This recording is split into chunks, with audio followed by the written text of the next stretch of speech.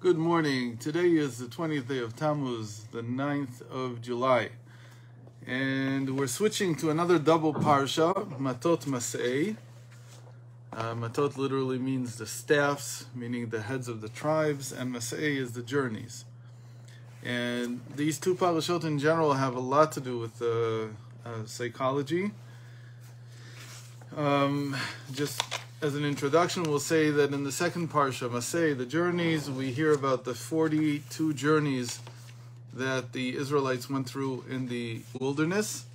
And the Baal Shem Tov was very fond of saying that every individual in their lives goes through these the equivalent of these 42 journeys in life. And we'll have more time to speak about that later on in the week. Let's focus now on the first reading. The first reading, reading contain, contains two issues.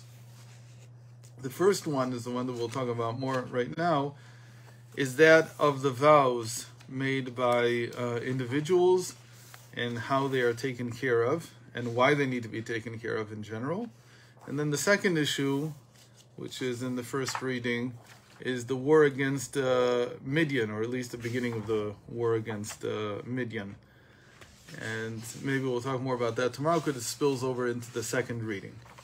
So let's talk about the, the vows. I, I want to read a little bit and then just so that we get some idea about what's going on and then uh, talk about it a little bit. Moses spoke to the heads of the tribes, meaning to the staffs of the tribes of the Israelites, saying, This is what God has commanded.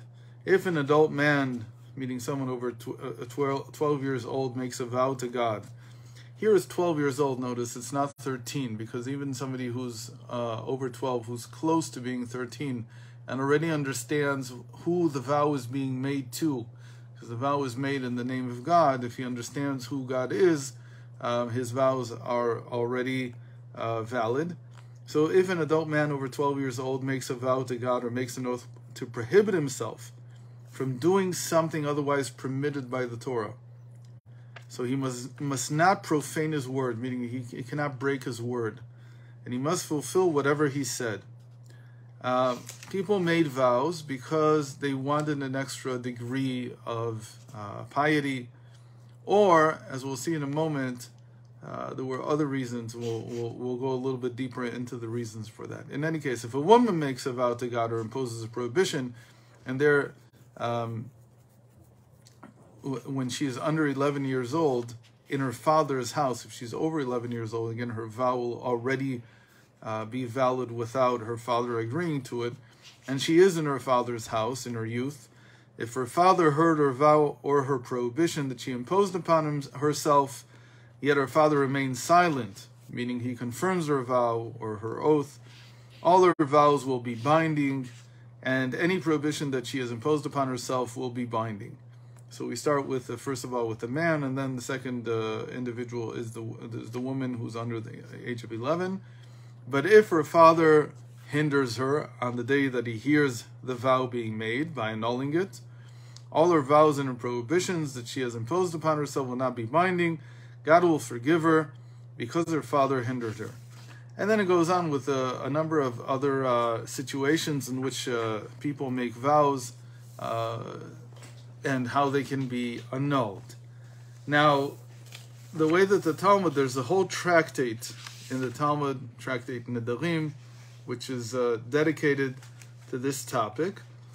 And from the very first words that Moses spoke this to the head of the tribes, the Talmud learns that the head, heads of the tribes, which are really the heads of the courts of law, they also have a role in the vows and in these uh, oaths.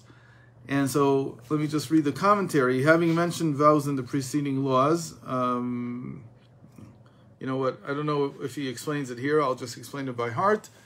That because the heads of the tribes are here mentioned, so we learn something even more important that the court of law, meaning if you go to a court and you say to them, I made a certain vow, for instance, I, I said I would not eat, um, you know what, I would never again talk to someone um, or to some specific individual. Or, for instance, this is very common. People do this all the time. So I'll never speak to you again. Um, or you made a, a, a, an oath or a vow. in English, the two words sound exactly the same to me. In, in Hebrew, they're very different. Neder and the shvua. Uh, is that I, I make a, uh, a, a, a oath about some something, and neder is uh, sorry about myself, and neder is that I make an oath about some object. So in other words, if I say I will never again eat watermelon, okay, so that is a neder. That's that's a, a because I'm saying I will never eat watermelon again. If I say watermelons from now on are prohibited for me, I'm not saying anything about myself. I'm saying about the watermelon. That's called a shvua. That's called a noth. In any case, uh, there's a lot of discussion about the differences. What I want to get at is that the court of law always has an ability to annul a vow or an oath that a person took. And you have to understand that this is also a very powerful tool which is positive. How could it be positive? Because a person wants to force themselves to do something. Um, how do you force yourself today in the 20th and 21st century to do something? It's very hard. Uh, you set up some reminder, you set up a schedule, you set up this, you set up that.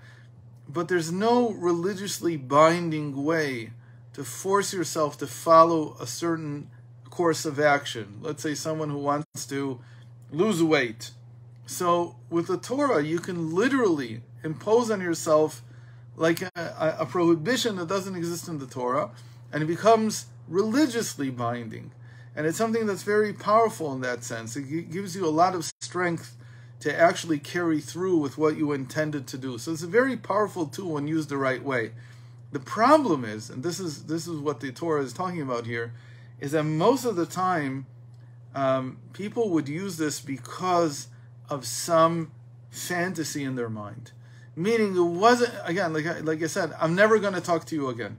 I'm never going to eat watermelon again. All these things which are a complete exaggeration. They have nothing to do with actual reality, but people do say these things. And when they say them, they become legally binding. Now, if you go to a, a, a, court of law, they have the ability to look for an opening, it's called.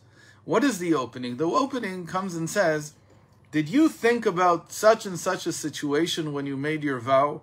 Meaning, in other words, if you would have known that you would have you had to speak to this person because you needed to talk to them about something very important and so on and so forth. Would you have made that vow? And then that becomes an opening because you say, No, I didn't think about that. I didn't think about that situation. So, what the court has the power to do is actually to figure out what you were imagining in your mind. Now, if you think about this a little bit, it's not very hard to see that this is exactly the root of all psychology.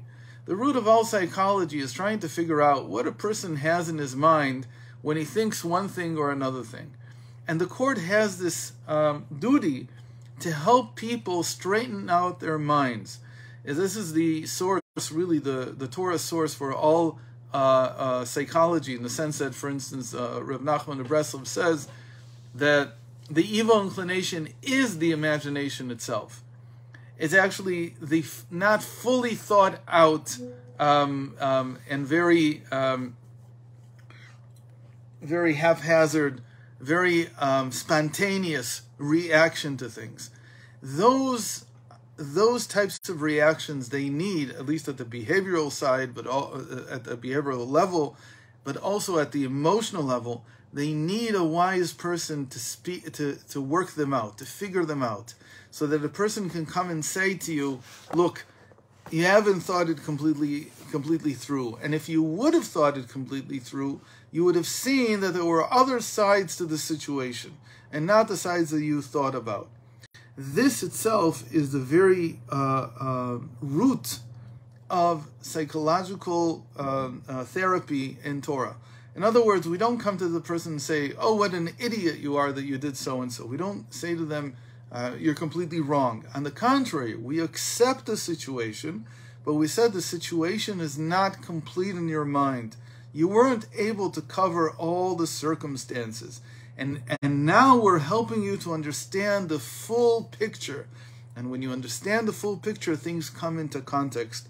When they come into context, that's called a we found an opening, and you find a way to regret or to go back on your decisions in the past, to go back on the way that you saw the world, to change the way that you saw the world, the way that you change that you see yourself.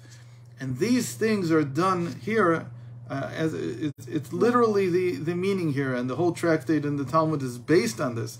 It's trying to understand how does a person's thought process work? How does their imagination work? How do we figure out how to fix it so that they can have a free life, one that is not governed by their false imagination, by the wrong, uh, by these things that they've sort of dug themselves into and can't, can't get themselves out of. So this is uh, one of the most important uh, uh, uh, uh sections in the Torah from a psychological point of view. Um, later in the Parsha, we'll see also another example of this uh, in a different direction, but also with the same idea that people come with certain certain ideas in their mind, and we need to try to figure out what in the world they meant and help them organize their thoughts. So thank you very much. Thank you very much for joining today, and I hope to see you tomorrow. And we'll talk about the war against Midian, which is a tremendously important topic in uh, Hasidic thought. So have a great week, everyone. Bye bye.